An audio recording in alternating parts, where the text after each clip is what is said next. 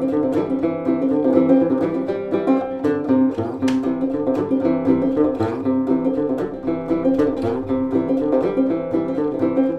Well, I spent 25 years in the advertising business. It was a it was a great career. I enjoyed it, but I just I felt like I wasn't growing anymore, and I just I really needed a change. And I had always been interested in uh, learning how to paint. It's called plein air painting, which is a French term that means uh, in open air or out of doors. Well, what makes plein air painting unique is uh, it's a um, it's not so much a technique uh, or a style, but it's a methodology. It's going out and uh, painting directly from nature firsthand, taking your notes from nature. And your goal is to produce a piece that feels more like nature rather than looks like nature. That's why uh, one of the, the great insults you can uh, pay a plein air painter is to say, my, that looks just like a photograph.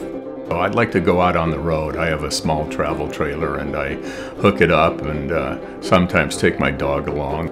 I'll rise quite early, usually before the sun comes up, and uh, go out, find a cup of coffee at a local place, and then drive around and start to look uh, for paintings. I'll do a morning painting, and then uh, and later in the day, when the light gets interesting again, I will uh, might do a late afternoon painting or an early evening painting. Uh, so you're usually working uh, when you're out on a painting trip, uh, sun up to sundown.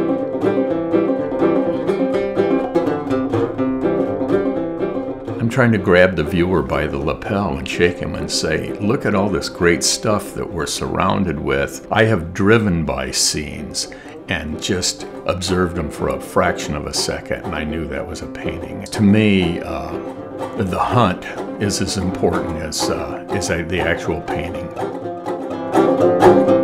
What a great excuse just to go out and uh, drink in life.